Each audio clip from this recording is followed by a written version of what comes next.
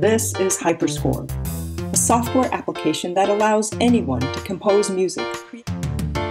Let's take a look at how it works. A hyperscore composition begins by placing a few teardrop-shaped notes in a melody window to create a building block or motive for your piece.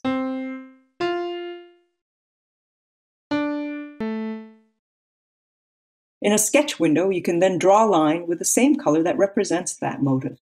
The line doesn't need to be straight. Hyperscore continuously transposes the motive to fit the contour of each line.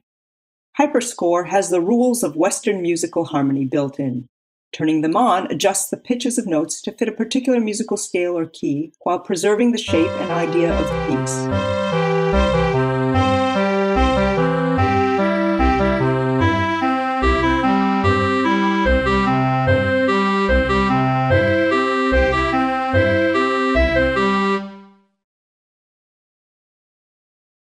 The special harmony line that runs through the center of each sketch window lets you create interest in the musical story by adding regions of tension, suspense, and resolution. Hyperscore empowers anyone to create and share their musical story.